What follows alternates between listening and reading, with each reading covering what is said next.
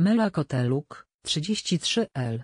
Pokazała w mediach społecznościowych zdjęcie swojego kota po wizycie u fryzjera. Internauci nie kryją oburzenia, podkreślając, że za takie strzyżenie powinno się zabierać zwierzaka od właściciela. Strzyżenie kota. Doświadczenie ekstremalne. Na szczęście wszyscy jesteśmy cali. Dziękuję, cudownej pani Joannie.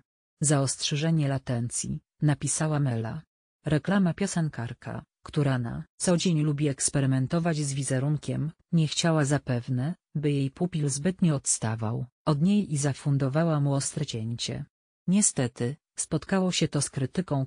Pod zdjęciem i wpisem. Internauci zwracają uwagę na fakt, że kota nie powinno się pozbawiać sierści, gdyż pełni ona rolę termoregulacyjną i chroni kota nie tylko przed zimnem, ale i gorącem.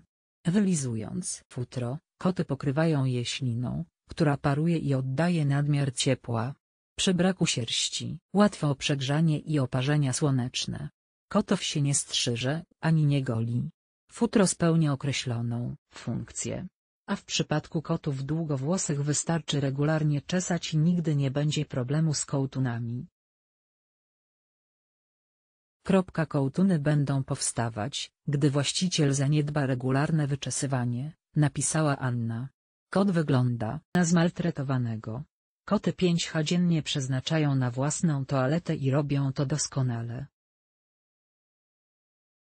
Kota się ani nie kąpie, ani nie strzyże, chyba że jest w środowisku brudnym i sam sobie z higieną nie daje rady.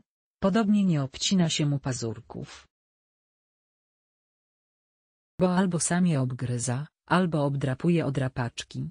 Natomiast koty się szczotkuje i można przecierać włos wilgotną ściereczką. Oczywiście, jak mówi przysłowie, za pieniądze i ksiądz się modli. Czyli producenci szamponów wymyślili też szampon dla kotów, podobnie każdy psi fryzjer przyjmie, także kota do strzyżenia. Ale to gwałt zadawany naturze, dodała inna z komentujących. Takich głosów oburzenia jest mnóstwo. Głos postanowiła zabrać w końcu zdenerwowana właścicielka, pisząc, że nikogo nie prosiła o radę. Tak, chyba jeszcze zrobię latencji włosy na lokówkę i umaluję paznokcie. Ludzie. Wysyłam wam dużo miłości. A zwracam się szczególnie do tych z was, pouczających i serwujących dobre rady o które nie prosiłam. Wszystkiego dobrego. Zakończyła dyskusję o kocie, Mela Koteluk,